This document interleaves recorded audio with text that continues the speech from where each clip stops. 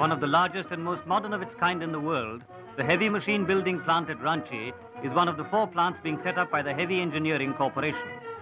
It will produce machinery for basic industries, primarily for the iron and steel industry.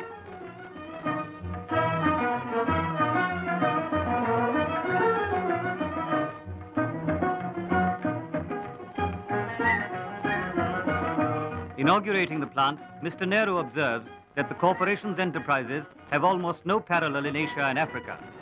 This is part of the corporation's heavy industrial machinery complex at Ranchi, created with Indo-Soviet and Indo-Czechoslovak collaboration.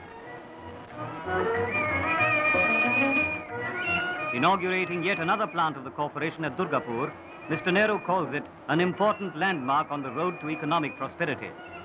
It will produce a wide range of coal mining machinery. The 300 million rupee plant has an annual capacity of about 45,000 tons of machinery.